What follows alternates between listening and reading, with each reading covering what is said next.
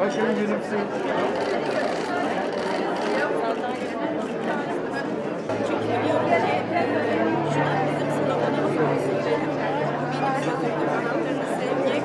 İşleri bu sıra çok en çok ihtiyaç duyduğumuz şey sanat ve bu maddi işlerle alakalı değil. Kadın eli değmemiş, kadın zerafeti bulaşmamış.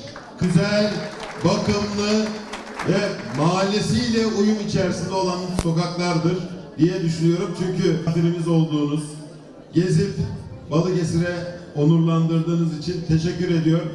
Bütün Hakkari o